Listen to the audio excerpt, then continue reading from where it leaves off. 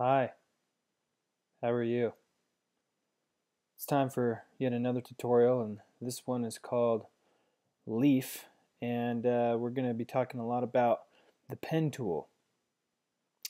We're also going to use the shape tool. We're going to modify some anchor points using the direct selection tool. We're going to combine shapes using the shape builder tool and the pathfinder and so we're just going to go crazy.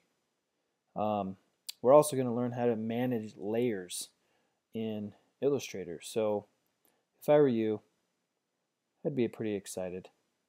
So what you're going to want to do is download the uh, Leaf JPEG and open it up in Illustrator. So here's the Leaf JPEG opened up in Illustrator. This cute little guy right here. And uh, essentially what we're going to do is we're going to trace him. And so to help us manage the layers, let's uh, create some.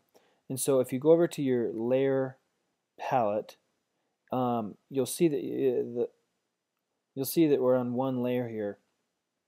And what I'm going to do is uh, lock this layer because I actually don't want to edit it. And so I'm going to actually create a new layer on top of it that allows me to draw on top of it and uh, not have to worry about affecting this layer at all. So to create a new layer, just go down here to the new layer thumbnail and click it and we'll get a new layer. We're actually going to create a couple of layers, but we'll just mess with this one right now. Now we're going to draw the, uh, the leaf and to do that, let's get the pen tool. So the shortcut for the pen tool is the letter P on your keyboard. And I'm going to start right here at the very top of the leaf. And I'm just going to click one time to create an anchor point. And then you'll notice as we uh, drag this around that there's this continual line that's kind of stuck to that anchor point. And essentially what we're going to do is we're going to click right here where that next anchor point is going to go. And then because we want it to curve, we're going to click and hold down the button on the mouse and then we're going to drag uh, a curve until it fits that line. So I'm going to click and I'm holding down the mouse and I'm going to drag this line until it fits that line right there. Now what these two things right here are called are handles and these essentially allow us to create Bezier curves or Bezier curves. I don't know. Um, now the next portion of the line is going to be curved and I don't like that because I need to pretty much go straight up to this next little point here. So I need to get rid of one of the handles. To do that, just click on the last anchor point and it removes that handle. And now I can have a straight line. And I can click right there and I can drag, you know, to just barely fit that little curve. Excellent. And now I want to curve again. So I'm going to click that anchor point, get rid of a handle, and I'm going to go down to this next part and drag the line till it fits. Click that anchor point, go to my next point, and then you'll just want to do this on each part of the leaf. Now when I get here to the bottom, I want to make sure that this last anchor point is directly underneath the first one. And you can see that that's the case by there being this line right here that uh, is snapping it more or less to uh, that first anchor point. So I'm going to click and drag, get rid of my anchor point, my handle right there, and then I'm going to go straight up to this first anchor point and I'm closing the shape and I know that I'm closing the shape because my icon has that little circle on the bottom right of it. So I'm going to click and now that shape is completed. So right now it has a white fill and a black stroke and I'm going to change that. I want it to be uh, any color basically that you want to create it. So I'm going to make mine nice. Uh, it's it's almost fall, so I'm going to make it this nice kind of fall orange, or maybe a Texas Longhorns burnt orange. And I'm going to get rid of the stroke. I don't want the stroke, so I select my stroke and then hit the none button there. And now I have half of my leaf. So what the heck, why do I only have half the leaf. I want to create a full leaf. I mean, when's the last time you ever saw just half of a leaf? So we're going to create the other side by simply copying this side. So I'm going to select this side, hold down Option or Alt if you're on a PC, and I'm going to click and drag it over. So let's flip this, and all you have to do is right click, go down to Transform, and then you want to reflect. And we're going to reflect it over the vertical axis. So hit OK, and it flips it. Now I can just line it up. Line it up. So now it looks like I have an entire leaf. The only problem is, is right now it's two separate shapes.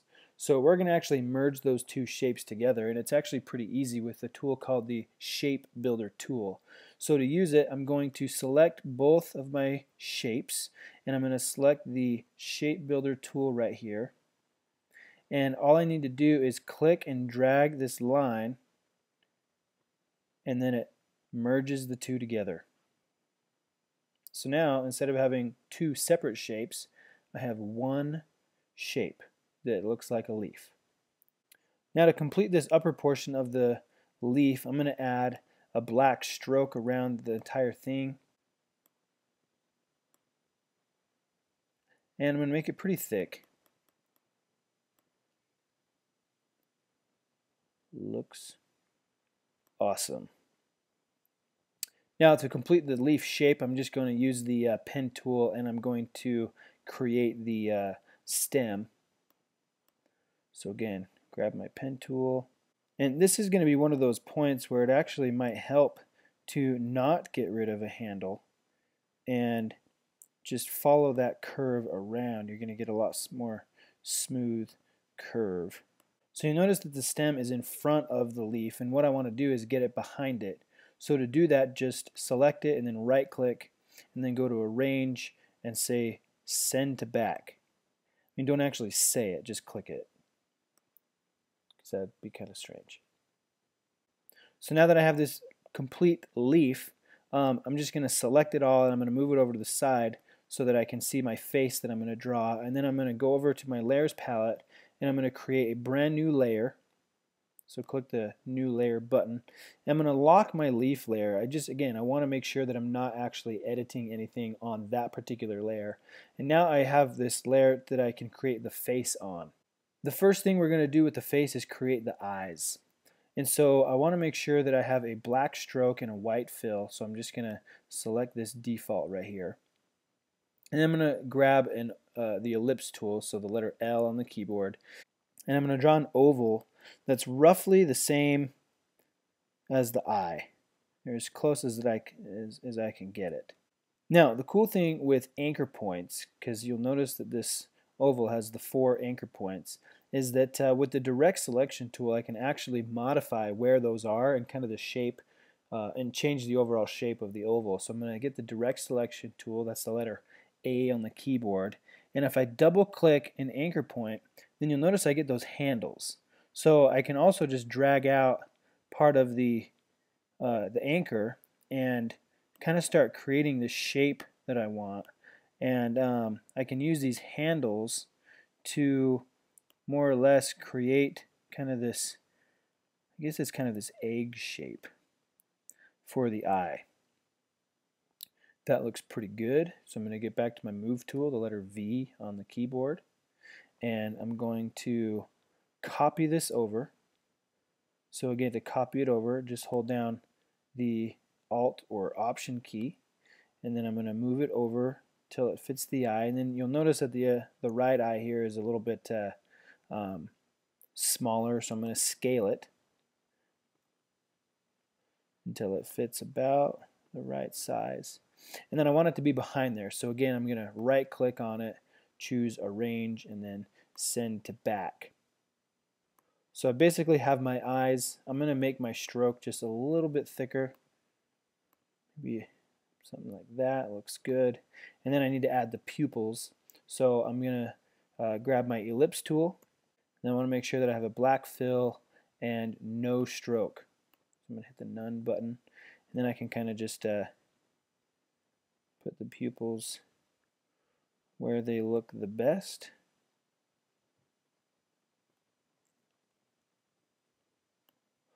And there's the eyes. Awesome. Next is the mouth. And so for the mouth, we're actually going to create three separate paths using the pen tool. So grab the pen tool and then uh, make sure you have a black stroke and no fill. And then I'm going to do what I did earlier. I'm going to click to make my uh, primary anchor point and then I'm going to click and drag to fit that curve. Now because we're creating three distinct paths here um, and naturally it wants to keep going all I have to do is hit enter on the keyboard and then I can come over here and create this other path. Then I can do the same thing, hit enter again, and now I can come over and create this beautiful smile. Awesome. And again, I want to kind of thicken up that stroke to make it look like he's really happy. And then lastly, what we're going to do is we're actually going to turn these strokes into shapes. And so to do that, make sure that each one is selected, then go up to Object, Expand, leave all the settings the same and hit OK. And then we're going to merge them together using the Pathfinder tool. So the Pathfinder tool you can locate in Window down to Pathfinder. It opens that up, and then with all of them selected, go ahead and click this one that is that uh, is called merge and it actually merges them all together so now the shape is actually the shape of the mouth. Last step is to put the face onto the, uh, the leaf so I'm going to go back into my layers palette I'm going to unlock the leaf layer and then I'm going to select the entire leaf and I'm going to scoot it right on over until it fits right perfectly there and uh, and then because I don't need this background layer anymore, I can go ahead and drag that one down to this little trash can. And my little leaf, my cute little fall leaf is all done. So all you need to do now is export it as a JPEG and upload it to Canvas.